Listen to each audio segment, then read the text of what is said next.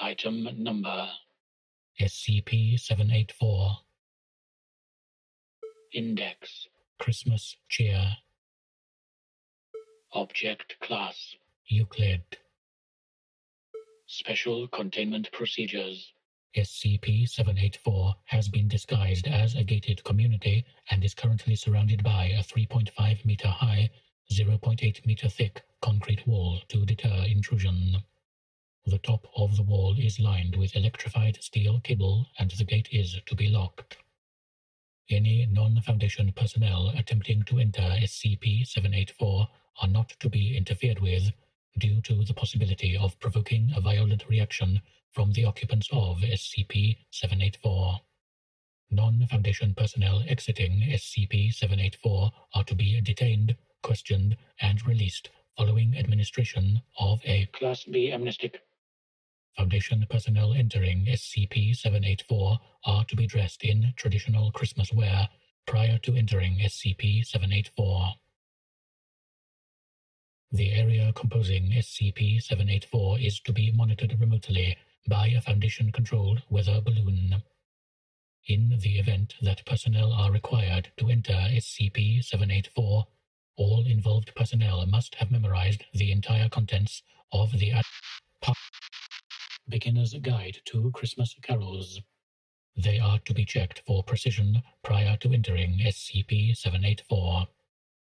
Due to SCP-784's proximity to suburban housing developments, as well as the ramifications of provoking SCP-784-1, patrols within SCP-784 are to be unarmed except during a Noel event.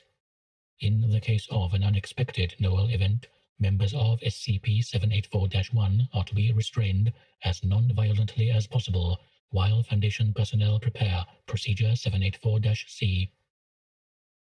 Description SCP-784 is a neighborhood in the town of Texas. Currently, SCP-784 is made up of 24 houses and two apartment buildings, all of which are decorated with brand Christmas lights at a density of approximately 15 lights per square meter of housing. SCP-784 will always be covered by between 12 and 33 centimeters of snow, though no unseasonable weather will occur above SCP-784. All houses within SCP-784 are occupied by a variable number of instances of SCP-784-1. SCP-784-1 is composed mostly of adult humans, all of whom wear sweaters typically associated with holiday gift giving. The number of unique instances of SCP-784-1 within SCP-784 has been estimated at 300. Instances of SCP-784-1 have not been observed engaging in reproductive activity, and no instances of SCP-784-1 have ever observably been born within SCP-784. Instances of SCP-784-1 appear to age normally, though the death of an instance of SCP-784-1 has never been observed by Foundation personnel. All instances of SCP-784-1 express traits commonly associated with the Christmas spirit throughout the year. These traits include singing of Christmas carols, performance of plays commonly associated with the birth of Christ, and various eggnog-related festivities. These activities are engaged in daily, though specific activities will never repeat more than once per week. During daylight hours, instances of SCP-784-1 will engage in activities such as gift exchanges and home decoration. Post-sunset activities include decorating of foreign objects as well as vandalism, which is typically holiday-themed. A Foundation supply convoy refueling overnight near SCP-784 attracted an unprecedented response from SCP-784-1, which proceeded to egg several in-transit prefabricated buildings, convert a Humvee into a sleigh, replace a shipment of fragmentation grenades with similar appearing glass ornaments. Fill the gas tank of several vehicles with brand eggnog. weld steel antlers onto 156 safety helmets. Any living creature within SCP-784 not viewed as displaying adequate Christmas spirit will become the focus of all instances of SCP-784-1 within approximately 4 meters. In the case of an animal, instances of SCP-784-1 will be called from the nearest house and place a holiday-themed accessory on the focus. Observed decorations have included 15 collars, red with a small bell. 7 reindeer antlers. 5 red Santa hats. 1 full body reindeer holiday outfit. Human subjects who do not meet SCP-784's criteria for Christmas spirit will be assaulted by SCP-784-1, incapacitated, and forcibly directed into the nearest household. They will not be seen until the following day, when they will exit the household dressed similarly to other instances of SCP-784-1. Attempts to retrieve affected personnel have been met with great resistance on both the part of SCP-784-1 and the affected individual.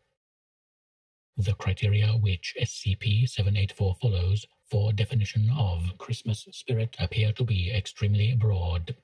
See Addendum 784-A for a complete log of personnel abducted and assumed reasons for abduction. Approximately once per month, SCP-784-1 will attempt to exit SCP-784 and enter the surrounding suburban community. This is referred to by on-site personnel as a Noel event. During a Noel event, each instance of SCP-784-1 will carry a string of Christmas lights estimated to be 15 meters long. Instances of SCP-784-1 will attach these lights to any nearby house, which will become decoratively and functionally identical to all other houses within SCP-784. Signs of an incoming Noel event include increased festivity during the day preceding the event, excessive eggnog consumption by a significant portion of SCP-784-1, and an increase in the number of decorations present within SCP-784. Procedure 784-C is to be executed prior to the occurrence of a Noel event. Foundation personnel are to dress themselves in traditional Santa outfits and distribute themselves near the exit of SCP-784. They are to begin singing Good King Wenceslas and distributing non-alcoholic eggnog to other personnel. On the arrival of SCP-784-1, personnel are to distribute eggnog mixed with a mild sedative to the crowd.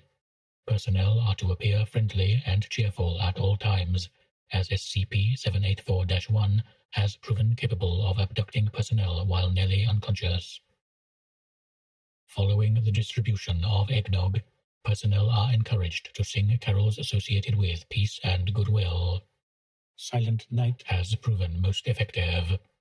Instances of SCP-784-1 will begin to sing along, and personnel are to accept their choice of song.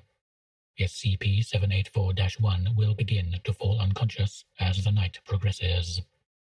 Unconscious instances of SCP-784-1 will be removed to nearby houses by other instances, and personnel are not to interfere with this process.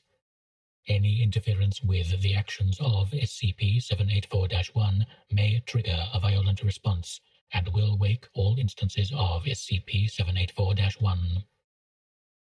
Instances of SCP-784-1 not affected by Procedure 784-C are to be silently incapacitated when no longer visible from the gates of the community, and returned after all other instances of SCP-784-1 have re-entered SCP-784. In the event that Procedure 784-C fails, Foundation personnel are to release an aerosolized sleeping gas. Foundation personnel are to restrain instances of SCP-784-1 until the gas takes effect at which time all instances are to be returned to SCP-784. Standard cover story 139, Drunken Football, is to be used to respond to any concerns expressed by nearby residents. Addendum 784-A. Action taken by personnel. Agent Paulson, on patrol within SCP-784, wished a nearby instance of SCP-784-1 Happy Holidays. Action taken by SCP-784-1. Approximately eight instances of SCP-784-1 surrounded Paulson, who was unable to escape. Paulson was dragged into a nearby home. Personnel. Agent Matthews sang the incorrect verse of Silent Night while on night patrol within SCP-784. SCP-784-1. Multiple instances of SCP-784-1 incapacitated Matthews non-violently using a nearby string of decorative lights. Attempted intervention by Agent Sanderson led to the involvement of a large crowd of SCP-784-1, which overwhelmed both agents.